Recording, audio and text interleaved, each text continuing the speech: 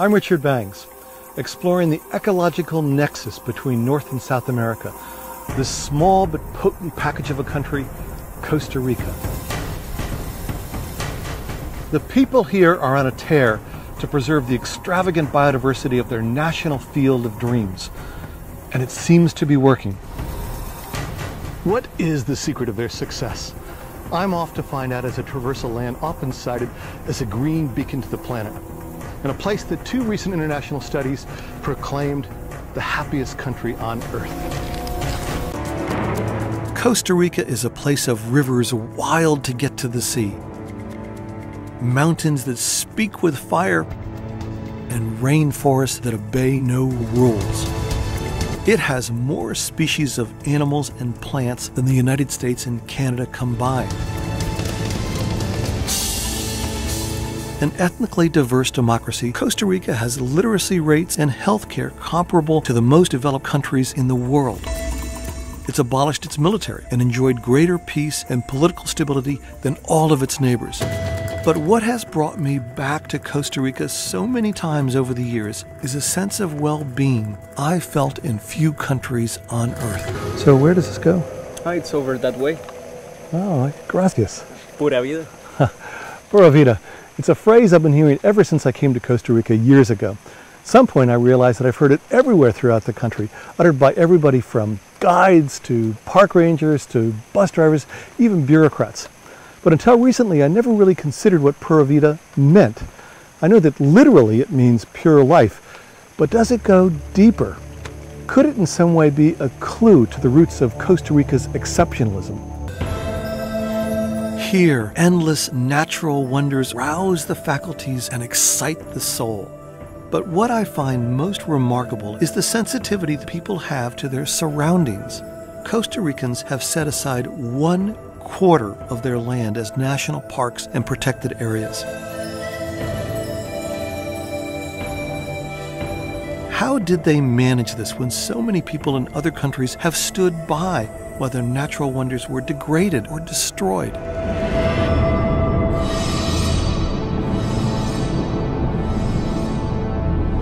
How did Costa Ricans fend off the miners, loggers, farmers, burners, developers, and others who felled and flattened rainforests around the world? How did they trick time? My friend Michael Kaye has lived in Costa Rica for more than 30 years and was first to raft the Whitewater Rivers here. He and his wife Yolanda also founded Costa Rica Expeditions and some of the country's first eco lodges. So, Michael, why does Costa Rica seem to have this almost exceptional ethos in conservation? And is there any relationship with Pura Vida? Richard, I've been trying to figure this out for 30 years, and I really haven't been able to. But maybe I can find some people that can shed some light on that. I'd like that. Okay, great. Alvaro Ugalde, once named Time magazine's environmental leader of the century, has dedicated nearly 40 years of his life to conservation issues.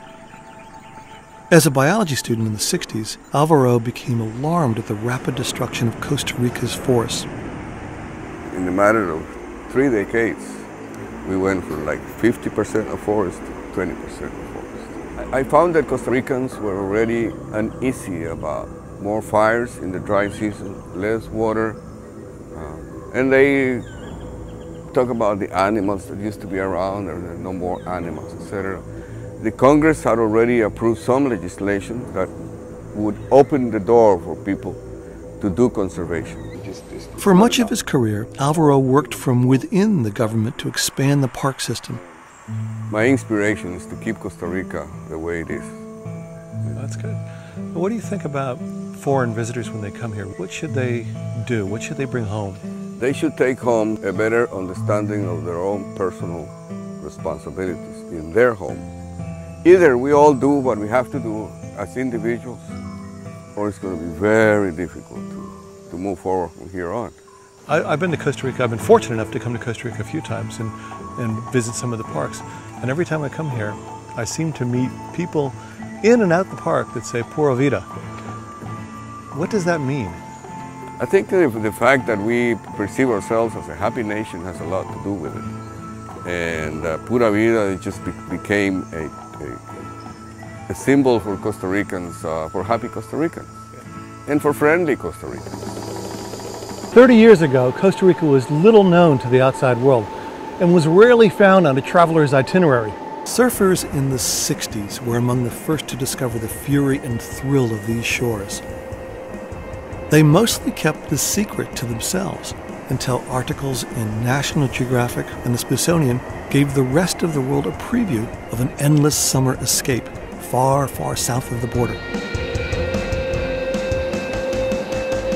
Soon, the country was riding a wave of enthusiastic reviews from those who discovered a vacation getaway with safe traveling conditions, friendly locals, and seemingly limitless opportunities for pure adventure. Was it the glint of Pura Vida? Today, Michael and I will make a short stop at the Nectandra Institute before heading for the rarefied air of Monteverde Cloud Forest. Surrounded by luxuriant gardens, the Nectandra Institute carries on the work of promoting conservation throughout Costa Rica. Rare plants are common here, and common plants are rare. But what becomes most evident is that the water cycle and life cycle are one. And one of the missions of the Nectandra Institute is to help communities with the tools and information to better manage the relationship between healthy forest and clean water. Evelyn Lynette was so impressed by the work done by the founders of Costa Rica's park system that she wanted to make her own contribution. They, they set aside 25%. So I got to thinking, but that's only 25%. What happened to the remaining 75%? We need 100%. yeah, we, we can certainly nibble on that 75% and see what we can do with it. She and her husband bought a large tract of land to create Nectandra, a private reserve and research garden. With several partners, they formed a grassroots style outreach that includes everything from educational workshops to an innovative eco loan program in which locals receive money to buy watershed land. The borrowers then repay interest by doing labor to restore and protect that land. The water is the central link among the forest, ecology, life as we need, and the future. So without it, we have no life. And that's the only message we, we need to get across to the young ones. While other parts of the world can rely on glaciers to act as water reservoirs, here there is no natural reservoir. The forests are essential for preventing runoff. There's no way to hold that water. Even with torrential rain, it goes out. So without the forest, we have no water. And that's, that's, a very powerful link for, for the association members, the parents of these children. They, they know that unless they put the forest back, the kids will not have the water in their lifetime. You always are taught that you need to pay back. If you benefit, you should also put back in. When I came here, I saw this is also another type of beauty. Is a natural beauty, and that um, we need to take care of it. So that's my my little tiny contribution to to put back in a little bit of my time on this planet.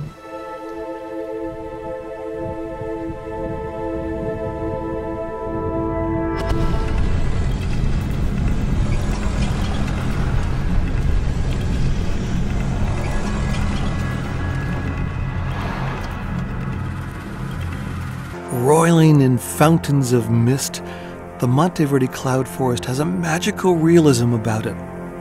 It seems a place to grasp the mystery that breathes behind things.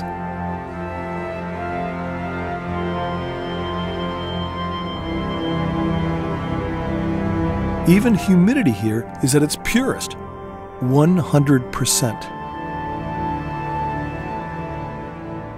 Several different kinds of forest thrive in Costa Rica, and Monteverde, literally Green Mountain, is a house of spirits to the cloud variety.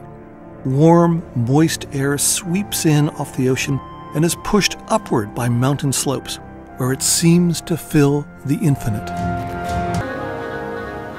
The reserve unwinds with a well maintained network of trails, and exploring them is like hiking through a grand green cathedral.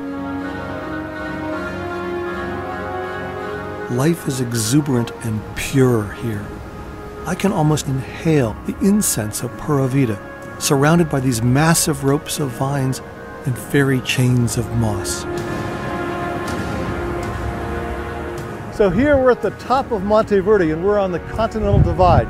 So if I pour water in this direction, it goes all the way to the Atlantic Ocean. If I pour it in this direction, it goes all the way to the Pacific.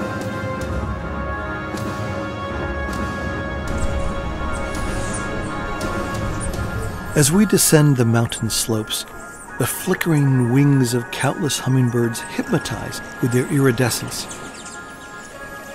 Hummingbirds are found only in the New World, but they spark fascination among bird lovers around the globe. Like all animals, they are vulnerable to habitat destruction and climate change. More than 25 species of hummingbird are currently threatened with extinction.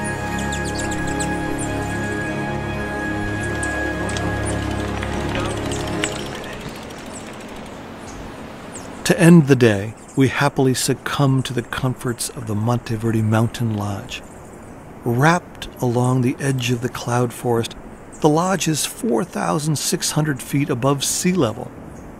Staying here has a sort of paradoxical effect, making us feel like we're ensconced in the middle of the forest while feeling protected from the misty breezes that buffet nearby mountain peaks. One place where nature wins out is Tortuguero National Park, stretching along the Caribbean coast for 13 miles.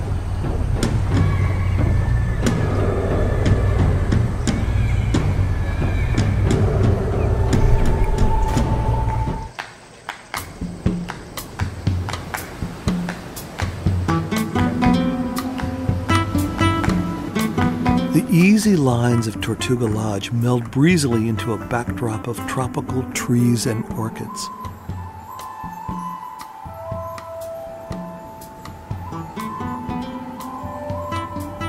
Soft scented air drifts through eco friendly rooms that make visitors feel in sync with the rhythms of the park beyond.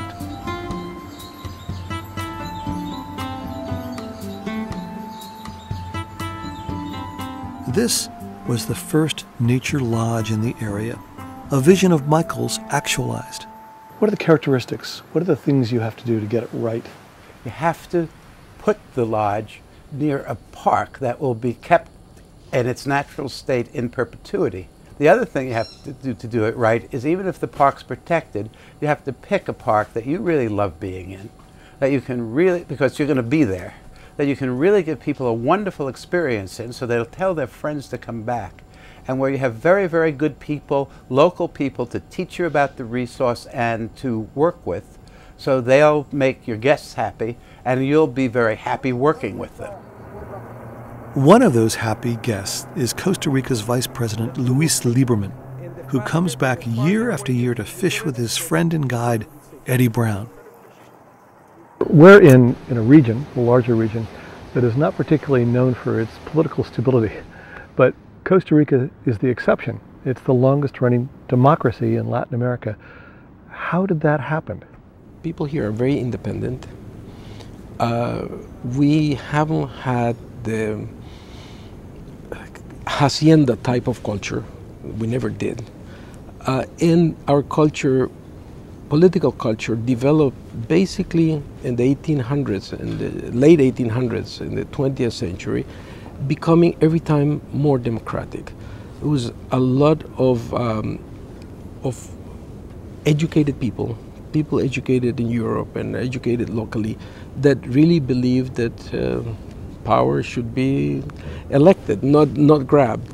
And, and I think we take it very seriously.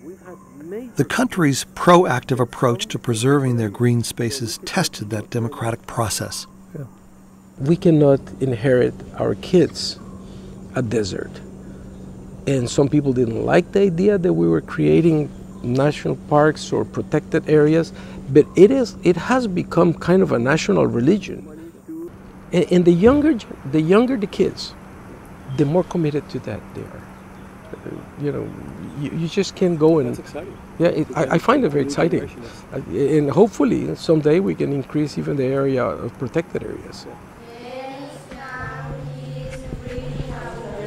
Yeah, good one. So, my name is Richard. What is it? One of Michael's passions is puzzling out new ways to help guests at Tortuga Lodge get more engaged with local culture. A vast number of our guests, the ma- great majority of our guests, really want to be able to feel like they're helping the local community. And what they can do best that the local community really learns is help kids learn English. Because English is the one thing that I can think of that I know that 10, 15 years from now is going to be really valuable for these kids, no matter what they end up doing. He conceived of a program in which English speaking guests can volunteer to help kids from the local village learn English.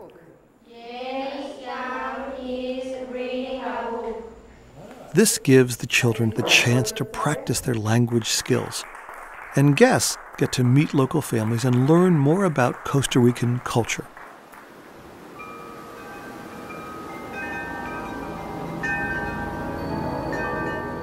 Evening spawns subtle changes along the canals of Tortuguero, and the jungle wraps itself in secrets.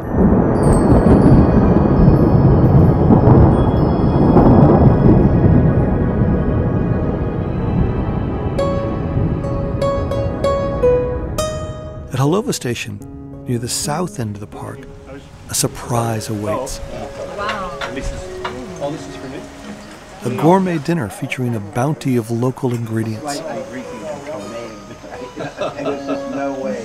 Valentín, ¿qué vas a servir para el plato fuerte? Bueno, el lomito, vegetales, Pescado, pescado, pollo, carne. carne, Okay, and so we've got kebabs. pinchos, kebabs. We've got four kinds: fish, Costa Rican cuisine, which relies heavily on fresh produce, is known for its panoply of subtle flavors.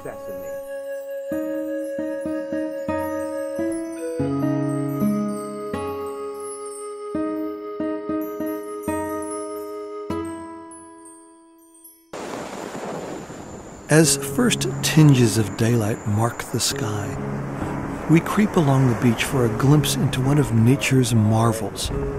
Turtle hatching.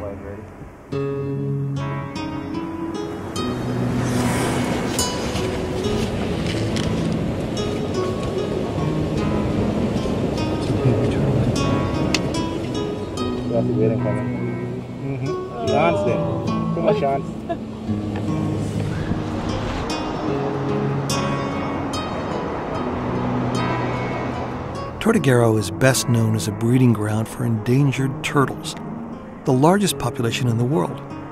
And no place is more critical to the survival of the Caribbean's green sea turtle.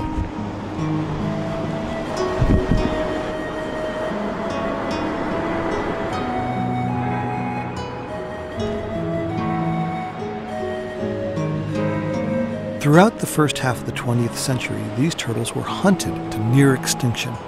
Working closely with the Costa Rican government, the Caribbean Conservation Corporation helped establish Tortuguero National Park in 1970, a move that offered protection to the turtles and strictly controlled access to remaining populations.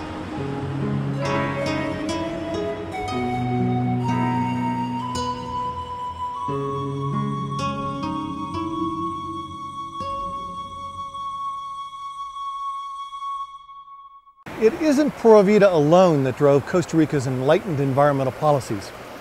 It seems to be some sort of magical convergence, a coming together of geographical providence, a truly far sighted people, and perfect timing. It was a land too rugged to allow easy exploitation. It was a moment in time when a global appreciation of the environment was beginning to ignite. And there were leaders and visionaries who unroofed the odds and set about establishing a national park system as well as ecotourism infrastructures that delighted all who came to see. But perhaps what makes Costa Rican culture so evolved is that many different people from very diverse backgrounds have created something greater than the sum of their individual efforts. Biologists have a concept called hybrid vigor. By that, they mean that cross-breeding different strains of animals or plants results in something stronger than the individual strains. The same holds true for societies, and Costa Rica is a poster child. Pura Vida is not the cause of Costa Rica's uniqueness, it is the expression of it. Conservation is never a done deal. Even here in Costa Rica, it's a contest without end. But no place glows warmer with the spirit of joy, hope, and inexhaustible promise, and the attendant feelings of a bright, unspotted life. Not only does Costa Rica have its homegrown heroes, it is a hero to the rest of the planet. A magnet and a model for ecologists, adventurers, researchers, and all who want to experience the magic of Pura Vida and be part of this luminous stitch in time.